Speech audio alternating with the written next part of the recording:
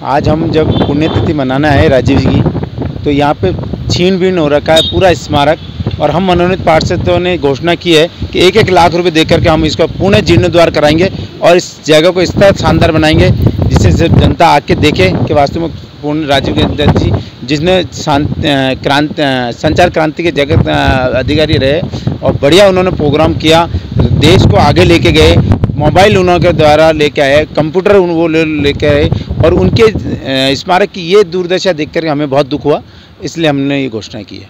अगर इसको डेवलप किया जाता तो मतलब किस तरह की चीज़ देखने लायक होगी? ये अगर डेवलप होगा तो वास्तव में यहाँ जो लोग बाग घूमने आते हैं वो देखेंगे कि कुछ चीज़ काम किया है मनोनीत पार्षदों ने। हम्म। पूरी कंडीशन खराब है बिल्कुल कंडीशन ख़राब है। देखिए आपके सामने टैंक है टैंक में पानी नहीं है पानी का कनेक्शन है पेड़ जल चुके हैं पूरी जीण छीन हो रखा है मार्बल पूरा बिखरा हुआ है। राजीव जी की मूर्ति जो कंडीशन में है उसके नीचे मार्बल जो लगा है वो भी टूट फूट चुका है। हमारी कोशिश है कि इसको पुण्य द्वार जीर्णोद्वार कराएँगे। भारत यादव मनोनीत पार्षद राजस्थान सरकार।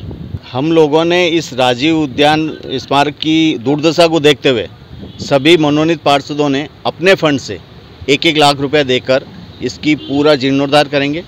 जितने भी इसमें उजाड़ हो रखा है, उसको बिल्कुल व्यवस्थित करेंगे। इसमें पानी के टैंक तक बने हुए हैं, पानी का कनेक्शन भी है।